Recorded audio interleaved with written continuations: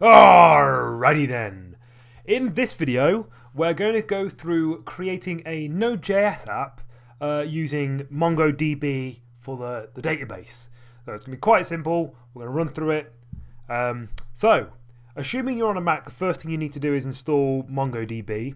Um, other operating systems may vary, but what we can do is you can say uh, brew tap mongo db forward slash brew. Press enter, it will do its loading, and then you can do brew install MongoDB community. There we go.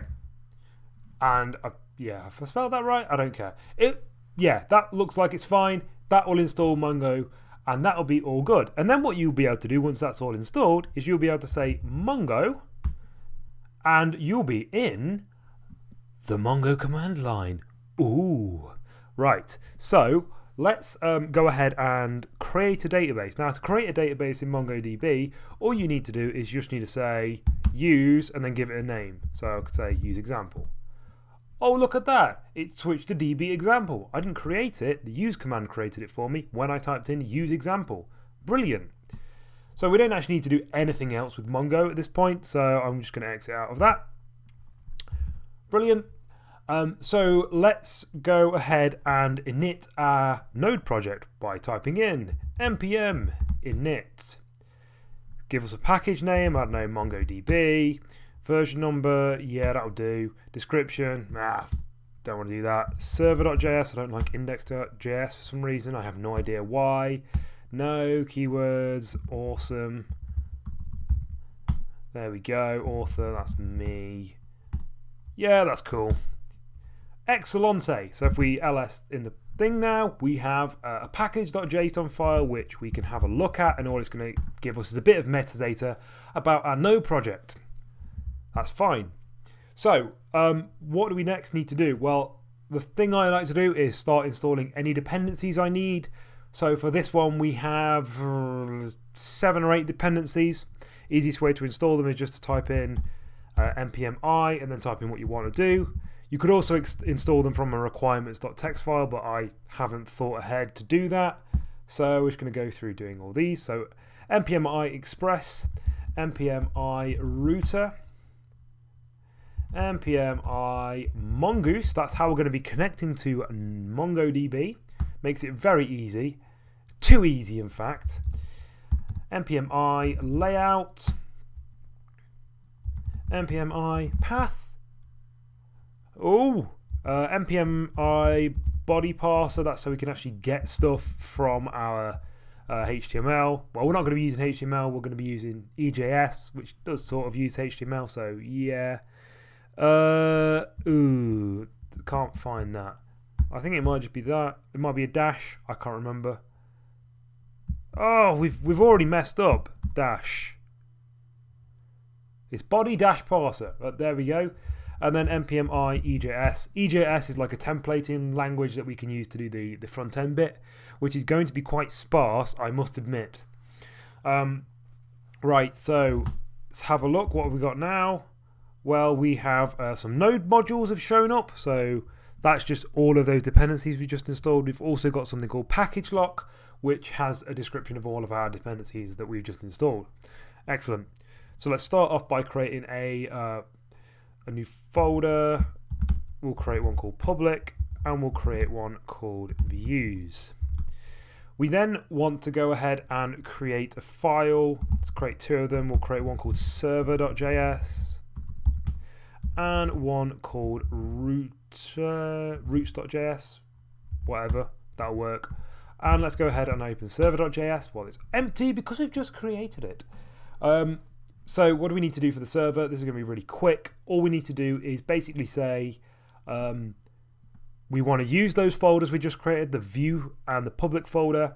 We want to set the view engine to be EJS. We want to start the Express app. We want to have it listen on a port so that anytime a request comes in on one of our on the port that we're going to expose that we actually handle it.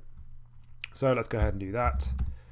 Um, const path is require path. This is just declaring some dependencies. Const express. This is how. This is a great little uh, module. This is makes things really easy. Like that, and then we also want to have layout as well. Require uh, express layout actually. I may not have installed the right one. Thinking about this now. Yeah, I might not have done. Const routes is going to be equal to require. Oh my god, he can't type. Dot forward slash routes. Now we haven't actually defined this yet, so this will crash if we actually start doing anything.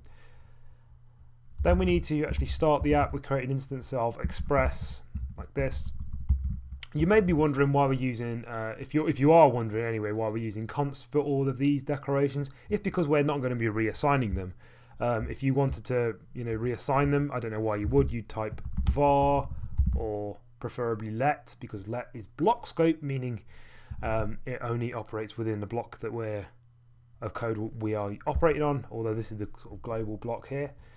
Then we want to also have a body parser like this. I'm just going to require body dash parser. So this is, the, this is the really boring bit of the video, I must admit, because this is just going through some basic setup. Even the server stuff is really boring. So next we want to set um, the views. Um, we need this so we can actually access the front end that we're going to do. So do name views like this. We're also going to actually set the views folder as a static folder so that we can access everything that's in there say app set uh, view engine. Um, and like I said earlier, the view engine we're going to be using is EJS. This is a templating language. Makes things quite nice for us. Next, we want to define some middlewares. And all this is going to be is just an array. So we want to say layout, create an instance of layout. Then we just, like I say, uh, take those folders that we created earlier, the public folder and the views folder, and we just allow the uh, Node.js app to access them as static folders. And well, the way we do that is we use the path module. We do dirname, and we do views for one. And we do the same thing again. Oh dear, he can't type. But this time we're going to do it for the public folder.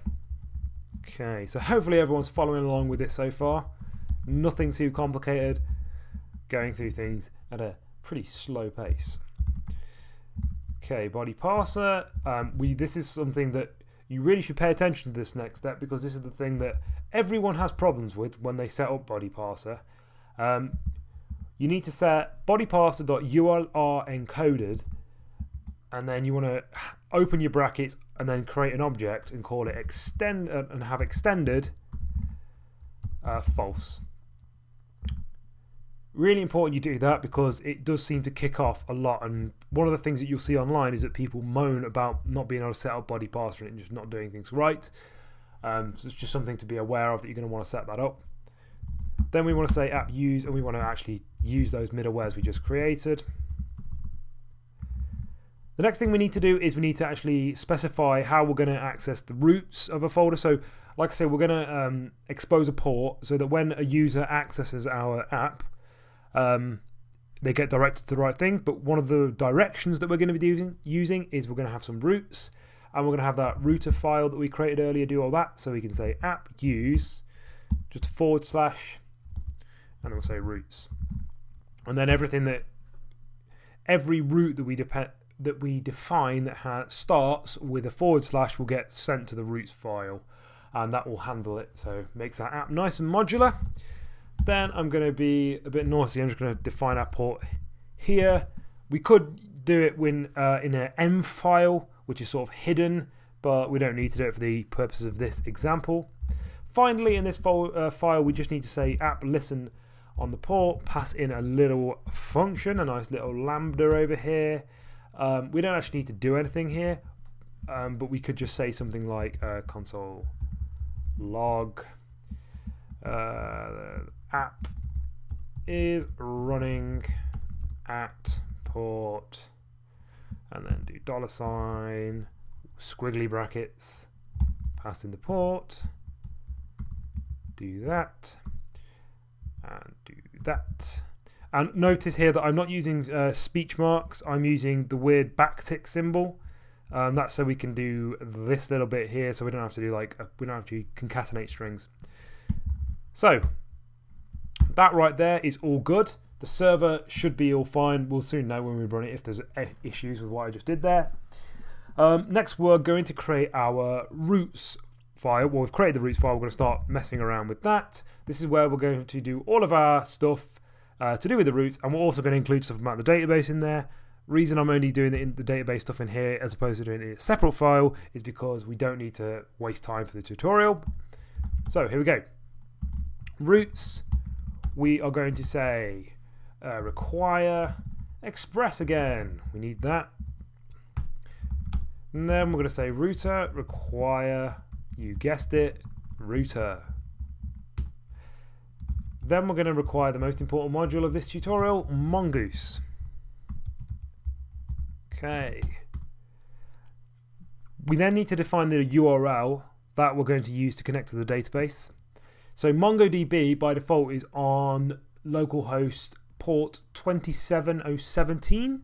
So we say const URL is equal to mongodb colon forward slash forward slash localhost colon 27017 and then we can also define the database that we used here. So we can say forward slash example. And that will only connect to our example database. Next we need to invoke a promise for MongoDB, a global promise.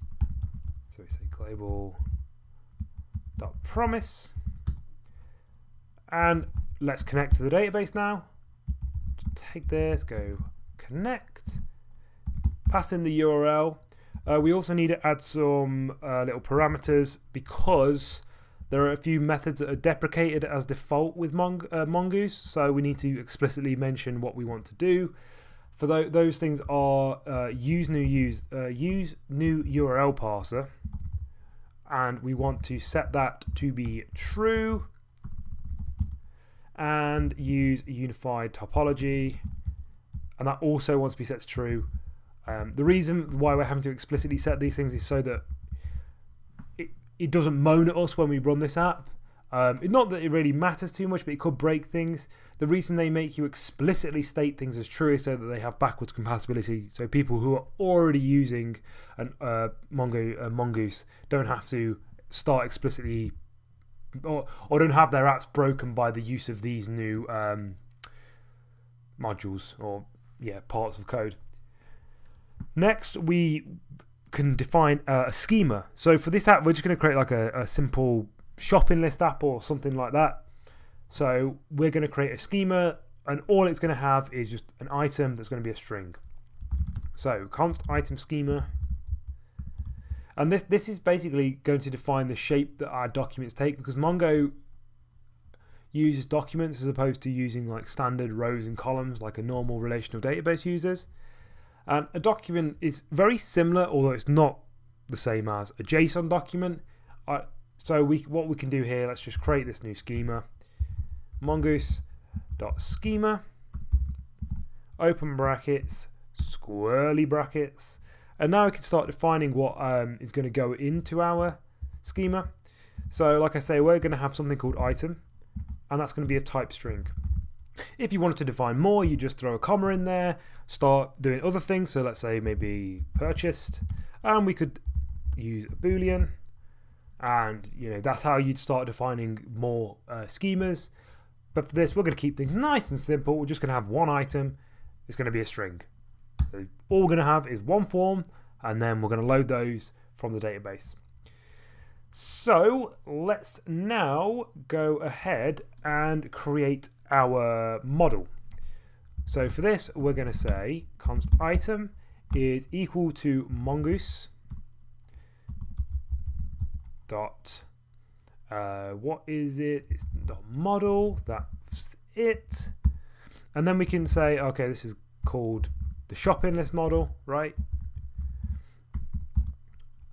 And we'll pass in that item schema like this. So this creates the model for our collection. And the first argument is the name of the collection. So in this case, shopping list. And this, uh, the second argument is a schema that will be used, right?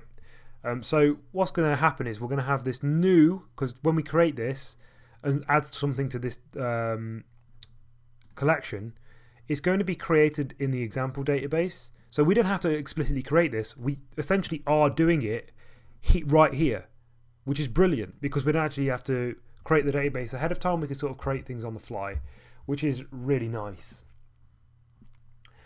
Next, let's just create some basic routes. So say router uh, get, this is just your standard route into the application. Req res, so that's request and response. Then we're going to have a little lambda function and we'll say res render. Do index like that. And then we just need to close the like that. There we go.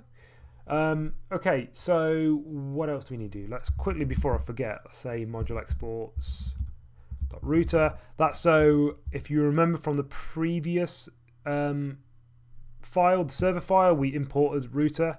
Well, that's how we're going to do it. We're going to export router from this file. Um, next, we want to create a another get, and this one is just going to be the items forward slash items, and all we're going to do here is we're just going to render a list of items.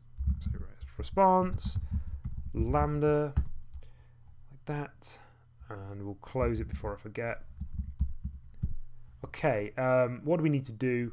So we need to basically say we take the schema and we're going to query the schema. And what we're going to query it for, well, we just want to get all of the items.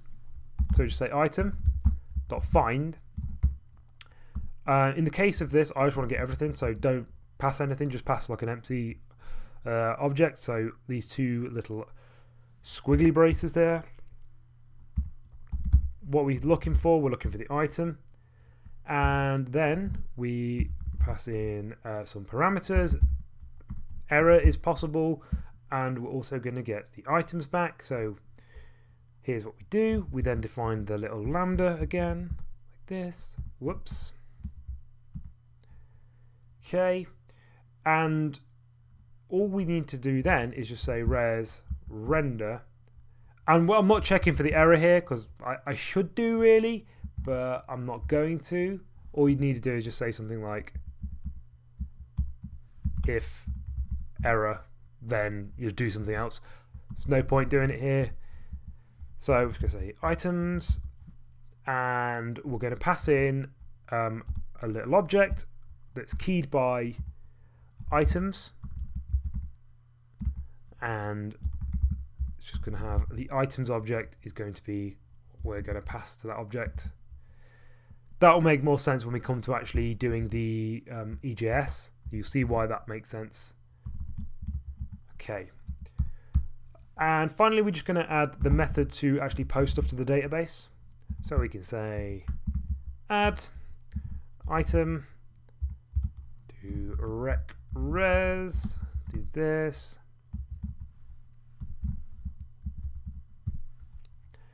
Then we are going to let's let's log the item so we can see what happens. So console.log req.body. And this is another thing that's really nice about MongoDB. All we're going to do here is we're going to say uh, const data is equal to new item, pass in the body. That body is going to be from a form we're going to create that's going to have one field and that'll be uh, the item name, right? Or just the item. So when we do this, it's just going to go, oh, well, this looks like an item, and it's going to work perfectly fine. Even though we haven't actually had to define anything, we haven't had to say uh, body or item or anything like that. We could just pass in the body, which is great because if we've defined a schema that's that's bigger, that has more items, and we have a form that corresponds to things that are, are bigger, we can just pass req body and it will just work. It's really nice. Okay, then we just have to say data.save like this and then we want to say dot then because this is asynchronous. So once that's done, we want to get the item back. And maybe we just want to um, do something like say console log um, we'll just say item saved. So item dot item saved like that and we then just want to potentially catch an error. So we say catch error and again lambda function just pass the res status. Response status of 400 to say something's gone wrong and we'll just say something like you broke it. You fool. Nice little message for our users there there we go and finally let's just close that that looks all good. We've got the exports done. Brilliant. So we've got the router done. We have got the server done. So uh, if I run this now, it's not going to work because we need to then create our views, but we can try and run it anyway. We can say node server.js. Yeah, it's going to throw an error, error because we haven't got express layout. I knew I typed that wrong. I said I'd done that earlier, didn't I? Npm i express layout like that. And then we can just say node server. And I am an absolute donut, of course, because that is spelled wrong. So let's go and sort that out. Uh, that's in the routes. So where have I put the schema? Do do do. Okay, so this doesn't look great. Schema. Uh, that looks right. That looks right. server. What? Ah, see what we've done wrong? Oh my god. What a fool. Okay, we shouldn't be doing require root here. We should be doing, um, we need to be doing, whoopsie daisy. We need to be doing express router. We need to create an instance of the router. Okay, I promise it's going to work this time. Oh my god. It's not working because it should be a capital R, not a lowercase r. Okay, this is like maybe the third time now? Third time the charm? It might be the fourth time. I don't know. It's going to work. Okay, it's working. Brilliant. So that's working. If we were actually run the routes though, it wouldn't work because we need to create the views. So let's go ahead and do that now. So we're going to uh, cd into the views folder. Actually, we're not. We're just going to create um, we're going to say views, layout. So we're going to create three files. One's called layout, one's called index.ejs, and one's called item or items.ejs. So let's create this one first. For this one, just a basic HTML template. I actually have one saved over here because I don't want to waste loads of time. All it is is some reference to Bootstrap, some reference to a style sheet that we've yet to create, uh, some more CSS, uh, this is just a generic um, favicon thing. We're not going to bother with the favicon here, but this is just what I set up for all my projects. And then the important bit here is that we have um, a body. So we have this little percent sign, minus body, percent sign, and then the uh, close symbol there. Whoa, dear dear. Okay, that's fine for that one. Let's now go ahead and create the index. And for the index, we are just going to do some basic HTML. So we're going to say, um, so div class content, we'll call it. And we'll say div. We'll say we need to create that form. So the form is going to have an action of the route that we created to add something to the um, database. So that's add item like that. And the method we use, remember it was router.post, so we specify that here and we say method post. And there we go. Oh my god, you can't type. Let's close the form actually before I forget, because I always will.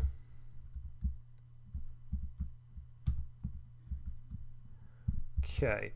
Now uh, we're going to create a little div class called form label group. This is a bootstrap class so that we get some nice easy styling without actually having to do anything. There we go. Oh my god, there we go. We're gonna. I will type properly in one video. I swear, it's going to happen. Next, we want to define an input of type text. We want to give it a name. Now, very important here that we give it a name um, of whatever we want it to be, but we make sure that we reference that and it matches up with our schema. So in this case, it's going to be name item. It's not ID because some people do that. They create an I, they create the ID and say, oh, ID item, and expect that the body parser will pick it up correctly. It's another issue with body parser. You need to make sure that you're using um, name, not ID here. Uh, let's give it a little placeholder as well, and just say enter item. Close the input. And let's also just quickly create a button that we're going to not actually show.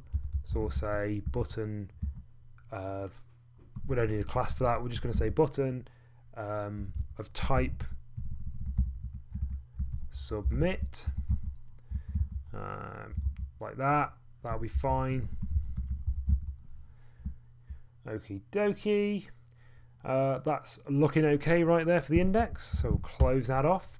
And finally, we need to create a file called item.ejs. And this is a, the, the nice one, so we're going to create a list. We're going to say UL for unordered list.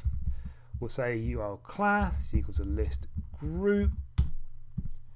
And then we're going to start doing our EJS magic. So we're going to say percent sign items. So remember how we referenced our object and we said items items well that is how we know that this is called items here so we can so EJS knows oh the object items that's what I'm referencing here. So we can do items for each.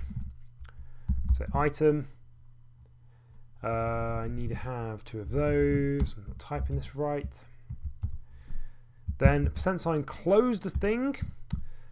And we can then do some HTML say li class is equal to list group item like that. And in the list group item we want to also have some EJS templating stuff. So we say the what is it? The greater than sign the less than sign. I have no idea which way around they ever go and never will do.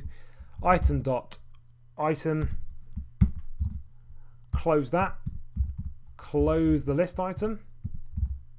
And we also need to close the for loop. So we do that by doing this. So that's um, there we go. Wrong way around as usual. And finally do this.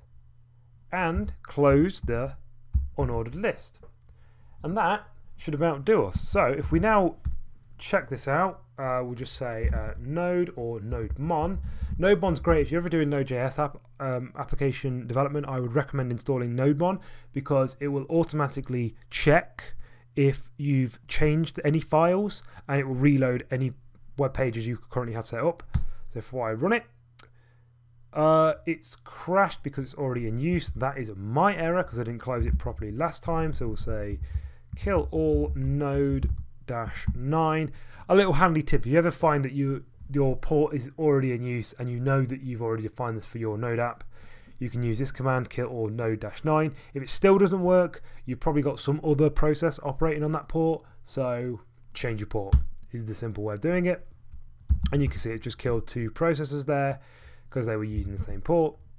So I say nodemon server.js like that. Okay, it's all running, so let's go to Chrome and we'll do that. There we go. We have one little thing. Uh, there is actually one more thing we can really quickly do as well. Um, we could do some styling real quick. So let's just go to a new terminal. We'll go to public. We'll make a directory called CSS. we'll create that style.css file we were talking about earlier that's referenced in the layout file. And we'll just do some quick CSS. In fact, I've got some sort of template stuff I use normally, so we'll just throw that out just to make it look nice.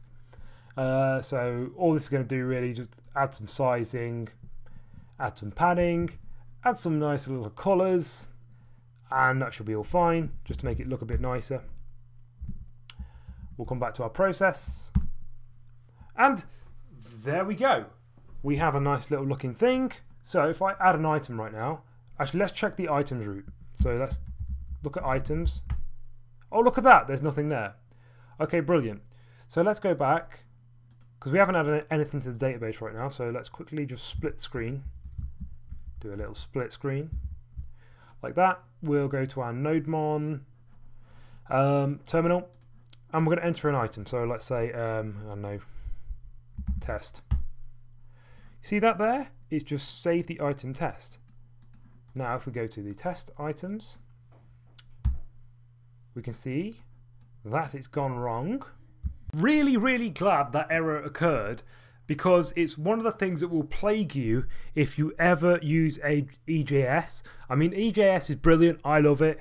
Um, however, it's a bit finicky. The problem is here on line 4 of the items file, um, where we've got the greater than or less than sign, whichever one it is, I don't know, um, and then the percent sign, we should also have um, the equal sign because we are referencing this uh, item here. Otherwise, it just like it kicks off, it doesn't work properly. So if we try it now, we don't have to reload anything because guess what's going to happen? NodeMon's done it for us, so we do that, and look at that. We've got our test item there. So let's just prove this is working again. I don't know, let's say we want to buy, I don't know, books. Um, one of the things that's a bit dodgy here is that because I've just put console log, this is just going to forever load because it doesn't actually do anything once I've I've done this. So we could come back here and maybe we want to sort that out and mine a little bug. What we could do is we could do something like um, come here, we could say res render, or we could say res redirect, and we just say forward slash items, like that. Because once you insert something, the thing you're probably going to want to do is go straight to the, the actual page. So come back here, we'll try and add another item, and we'll say something like, I don't know, T, and there you go, it reloads straight to the cheeky little list. So, hopefully that's been interesting. I know we've had a few errors during this tutorial. I'll try to sort of sort them out because some of them are common errors that you would uh, actually see anytime you're developing Node. So, try and leave those sort of things in so you can learn from my egregious and ever frequent errors. So, hopefully you found that interesting. If you have any questions or anything like that, leave them down in the comments below. I do try and answer the vast majority of well formed questions. So, uh, yeah, all that remains to say is thank you very much for watching. Bye bye. If you have enjoyed this content and wish to see more, click the videos and also maybe click subscribe. It's free. I don't know why I'm doing a silly voice.